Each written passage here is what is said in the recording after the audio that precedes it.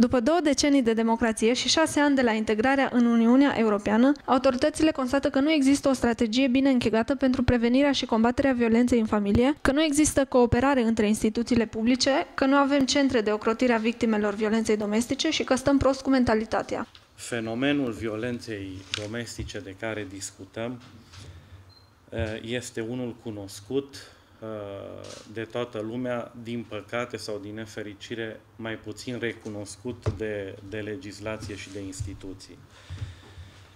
Dacă până în 1989 acest fenomen a fost ignorat de, de autorități din motive ideologice, uh, din nefericire, nici în prezent, uh, acest fenomen nu este strict reglementat în codul penal, el putând fi sancționat doar prin dispoziții generale care incriminează actele de violență.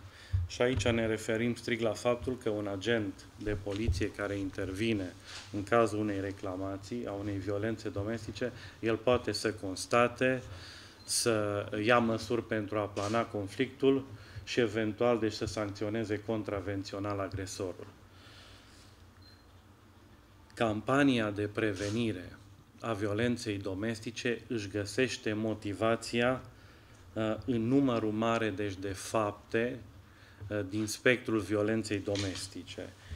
Și acest fapt este un argument suficient de important uh, pentru a demara această campanie de promovare a unui mesaj preventiv arătând consecințele atât umane, dar și legale ale violenței.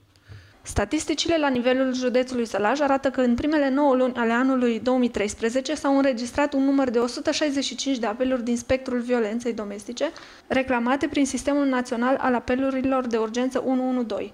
În cazul a 73% din sesizări s-a luat măsura sancționării contravenționale a persoanelor reclamate. În același timp, au fost înregistrate un număr de 151 de petiții prin care s-a reclamat injurii, amenințări cu acte de violență sau scandaluri în familie. În majoritatea cazurilor, victimele acestor fapte au fost femeile cu vârste cuprinse între 22 și 71 de ani. În perioada analizată au fost înregistrate 91 de dosare penale ce au avut ca obiect infracțiuni din spectrul violenței domestice, iar acestea sunt doar cazurile înregistrate. Intenționăm să desfășurăm activități preventive în unitățile de învățământ, uh, să identificăm și să organizăm întâlniri în uh, unitățile economice, unde sunt angajate preponderent femei, pentru a-și cunoaște drepturile și instituțiile care trebuie să adreseze când acestea au nevoie. Problema uh, principală reprezintă faptul că 75% din cazurile de violență domestică nu sunt sesizate autorităților. Este un procent îngrijorător. Uh, motiv pentru care intenționăm să ne axăm pe prevenire. Oamenii trebuie să știe ce au dreptul, uh, până unde se oprește dreptul celuilalt, cui se adresează, uh, iar în cele 35% din cadruri în care se adresează unei autorități, autoritatea este reprezentată de poliție. Sunt situații limită când victimele au scăpat situația de sub control și consideră că instituția în măsură să ia măsuri ferme o reprezintă poliția. Conform datelor Direcției Generale de Asistență Socială și Protecție a Copilului, DGASPC Sălaș, în anul 2012 au existat 100 de victime ale violenței domestice, iar 75% dintre aceste victime au fost copii cu vârste de până la 13 ani. Un caz s-a soldat cu decesul victimei. De altfel, în luna iulie acestui an, Monica Catona, inspector în cadrul DGASPC, sublinea faptul că numărul violențelor și abuzurilor în familie a crescut de la 60, cât era în 2011, la 100 de cazuri în 2012. Concret, în 2011 2012 au fost 22 de cazuri de violență psihologică sau neînțelegere în familie, 20 de cazuri de violență fizică, 4 abuzuri sexuale și 14 cazuri de neglijență în familie. În 2012, topul cazurilor de violență domestică înregistrate la DGASPC Sălaj a fost condus de sesizări legate de neglijența în familie, înregistrându-se 37 de astfel de cazuri. Tiberiu Marc, președintele Consiliului Județean Sălaj, probabil neconvins fiind de numărul îngrijorător al cazurilor de violență domestică, a motivat în cadrul ședinței de astăzi condițiile în care ar fi necesară construirea unui adăpost pentru victimele acestui tip de violență. Dacă am începe de la capătul pe care îl propune acest proiect, și anume construirea unui adăpost pentru victimele agresiunii. Cred că ar fi greșit. Ar trebui ca proiectul să ne spună dacă e nevoie sau nu e nevoie de așa ceva și când este nevoie de așa ceva.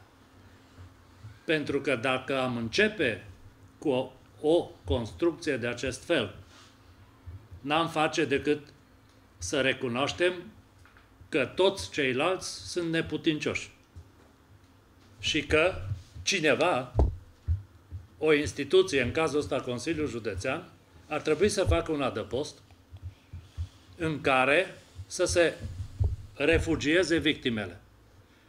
Ce se întâmplă cu agresorul?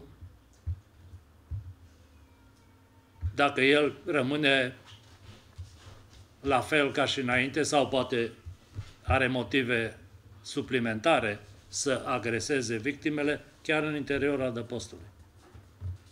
Ce se întâmplă după ce adăpostul este plin? Care sunt ieșirile dintr-un asemenea tip de adăpost? În ce fel? În ce moment? Și în ce condiții ies cei care au fost într-un moment dat primiți într-un asemenea adăpost. Deci, pentru toate lucrurile astea trebuie să uh, găsim răspunsuri și poate că acest proiect este un prilej de a găsi uh, răspunsurile, de a vedea care sunt cauzele, de a putea interveni la cauze, atâta cât se poate interveni, și apoi, dacă toate intervențiile astea se dovedesc insuficiente, atunci ar trebui să ne gândim dacă e nevoie sau nu e nevoie de un adăpost. Iar dacă e nevoie, cine îl administrează?